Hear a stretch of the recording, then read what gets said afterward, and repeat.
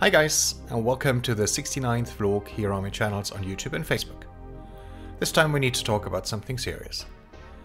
Unnoticed by most of us, the EU have renegotiated the copyright directive. In its current version, and I'll put a link to the text down below, Article 13 spells disaster for social media, especially for all smaller platforms. Let me explain. Article 13 makes all social media platforms, small and large alike, liable for copyright violations of their users. Don't get me wrong, copyright violations have always been illegal, but what Article 13 does, it, it makes the platforms liable for actions of their users. If you're a large corporation, like YouTube, Tencent, Facebook, that's something you can easily bear. But if you're a small provider, your only option is to close the business and prevent uploads. Well, basically what the EU are doing is they're handing off the keys to social media to the large corporations and remove all alternative voices. And that is a disaster. And that's definitely also not acceptable. So, this weekend we had our first demo in Cologne. With just two days to prepare, the organizers gathered about 2,000 people on the streets, about 16,000 people on the live streams. A great achievement, especially given the short amount of time. We really need to stand up. We need to fight for internet, we need to fight for our social media, and we need to fight for our freedom.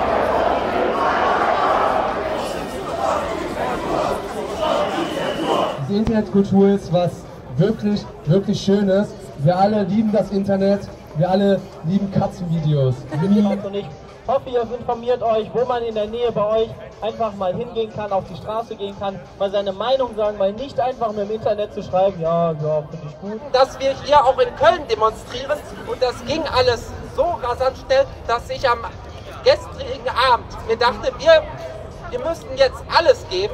die einfach so durchgezogen werden, obwohl sie bereits schon abgelehnt worden sind. Und sowas geht nicht fit. Das ist nicht in Ordnung.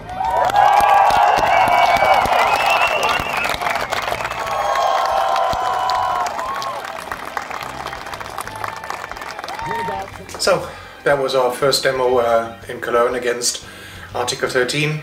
And uh, don't get me wrong, I do not uh, condone copyright violations, and I'm usually very pro European. But what the European Commission did this time is just horrific. And there's nothing for us left to do, there's no more negotiation, so we have to take to the streets and, and fight for it. But apart from that, the one thing that I'm totally taken by is the people. I mean, if it's for Article 13, like uh, yesterday, or if it's uh, for Fridays for Future, or in some parts of the world it's called Strike for Climate, I mean, this generation, Generation Z, they really have it in it. Um, and don't take my word for it. I will put a link down below to a stellar movie by Sean Tracy explaining exactly that. I'm very smitten with that generation. They really have it in it and they have the ability to change our world for the better and for the much better. I'm glad that I'm around to, uh, to witness it and I'm also quite glad that my kids are part of that generation. Coming to the close, coming back to Article 13, there's one thing left to do. If you haven't done already, take actions, call your MEPs, let them know what you think of it. Thanks, and uh, speak to you in the next one.